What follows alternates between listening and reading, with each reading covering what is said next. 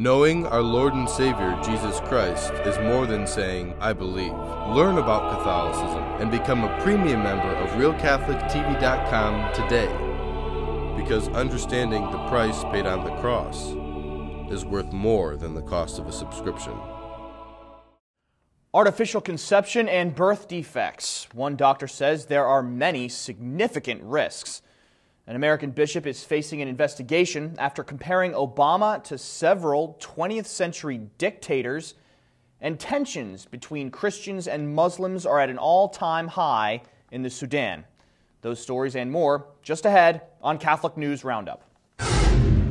Catholic News Roundup is brought to you in part by PewSitter.com, your online Catholic newspaper for the third millennium, CatholicMediaCoalition.org, in line with the Church, online with the world and theamericancatholic.com. Politics and culture from a Catholic perspective.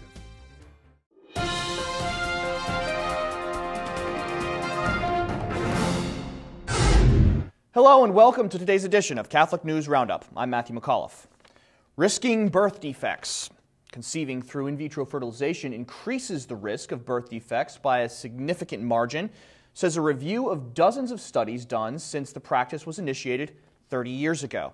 A review of 47 studies done by the University of Nanjing in China revealed children conceived by the fertility procedure are 37% more likely to have a birth defect than children conceived naturally. A doctor from Chicago who recently quit his practice of IVF procedures after 15 years, Dr. Anthony J. Caruso, weighed in on the question of what happens to a child when infertile parents find out their artificially conceived child isn't up to their standards. He says while many love their child no matter what, quote, there is a true desire to quickly determine the health of the child so that, if somehow defective, the option of termination is still viable, end quote. Dr. Caruso, a convert, answered many other questions about in vitro in his interview with Mercator.net and you can find them on our resource page by clicking on the link right outside the screen. Bishop denied free speech. An American bishop is being blasted over his comments about Obama's policies as political lobbyists and some of America's most prestigious Catholic educators excoriate him. Bishop Daniel Jenky of Peoria, Illinois, told Faithful in a sermon he gave that Obama's contraception mandate and, quote, radical pro abortion and extreme secularist agenda show his intent on following a path similar to past dictators like Hitler, Stalin, and Otto von Bismarck.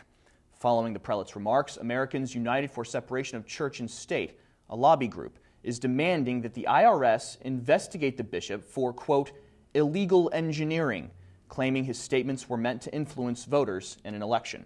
The Anti Defamation League, a national organization for the protection of Jews, is also calling his remarks, quote, outrageous, offensive, and completely over the top, while the faculty of Catholic College Notre Dame show their lack of support, demanding Jenky's resignation from its Board of Fellows if he does not renounce what they call his, quote, destructive analogy. Historic Boston Church closed. A seven year vigil has ended as the Archdiocese of Boston changes the locks on an East Side church. Parishioners from Our Lady of Mount Carmel Parish have fought hard to keep the doors open, taking their appeal to the Vatican's highest court, but the court did not rule in their favor. According to the Boston Insider website, a sign has been posted on the door by the Archdiocese.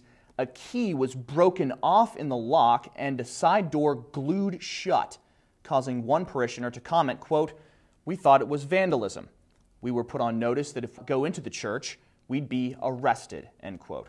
While the Archdiocese has not said what they intend to do with the church, convent, and other buildings, a statement was issued on Sunday saying, quote, We understand that those who have opposed the closing of Our Lady of Mount Carmel desired a different outcome. The time for this vigil to end has come, end quote. The parishioners have less than 60 days to file a final appeal with the Vatican.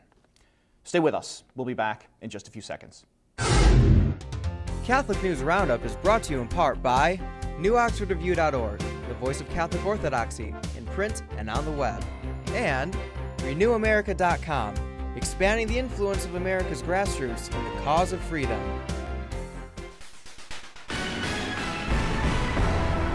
Mitt Romney is causing a stir amongst conservative voters, deciding to add an openly homosexual man to his staff.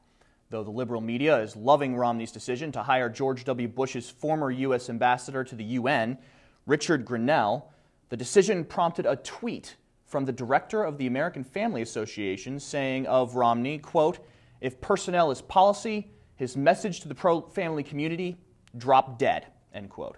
It should be noted that Romney needs more conservative voters as he heads into the primaries coming up tomorrow if he's going to compare himself to Obama, as the RealClearPolitics.com average in a matchup between the two shows Obama leading with about four percentage points more of American voters, 48 to 44. Muslim burned Sudanese church. A mob has torched a Catholic church in Sudan as tensions grow between the militant Islamic nation and the recently seceded and decidedly Christian country of southern Sudan. The church was built on a plot of land with disputed ownership between the two governments, which are fighting over the establishment of the border they share. Witnesses and local newspapers say a mob of several hundred Muslims shouting insults set fire to the Catholic Church, which firemen could not put out. Ethiopian refugees living in the Sudanese capital city used the church complex, which had a school and dormitories attached to it, and they will all now be forced to go elsewhere. I'm Matthew McAuliffe. Thanks for tuning in today. Be sure and tune in tomorrow for your daily dose of Catholic News Roundup right here on RealCatholicTV.com. Also, don't forget to check out The Vortex, where Michael comes to us from down under. Again, thanks for tuning in. Be sure to tell all your friends about us. And as always, God bless you.